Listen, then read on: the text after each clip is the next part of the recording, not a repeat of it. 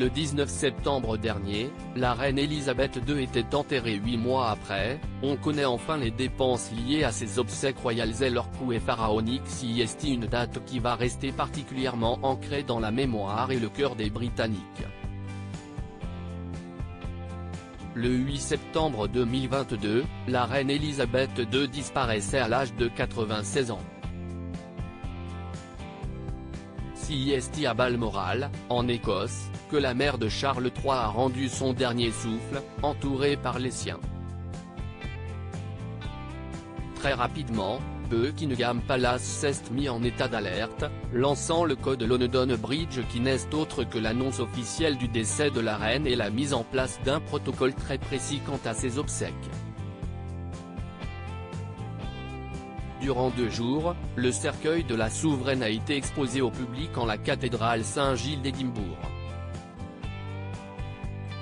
Transféré à Londres, sa dépouille a retourné au palais de Buckingham. Pendant quatre jours, son cercueil a été exposé au public. Ainsi, des anonymes et de nombreuses célébrités se sont recueillis devant sa dépouille. Puis le 19 septembre, les funérailles royales ont été organisées.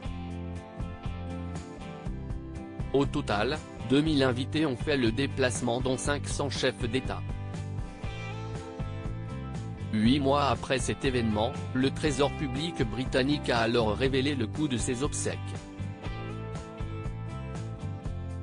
Le contribuable a dépensé pas moins de 161,7 millions de livres sterling soit 186 millions d'euros. Des sommes astronomiques dépensées en détail, le ministère de l'Intérieur a dépensé pas moins de 73,68 millions de livres pour les milliers de policiers assurant la sécurité. 57,42 millions de livres ont été utilisés par le ministère de la Culture. Le gouvernement écossais a lui aussi dépensé 18,75 millions. Des sommes conséquentes qui ont été donc dépensées pour cet événement tout aussi historique que tragique. Mais pour certains groupes anti-monarchiques, ces sommes sont bien trop importantes. Ce constat a également été fait pour le couronnement de Charles III. À propos de l'auteur passionné de People, j'écris sur Closer depuis 2020. Vos célébrités préférées n'ont plus de secrets pour moi. Ces derniers articles est Thomas Pesquet furieux, Fer rarissime, le spationaute français tape du poing. Charlotte Gainsbourg et Yvan Attal, en couple depuis plus de 30 ans, pourquoi ne sont-ils pas marre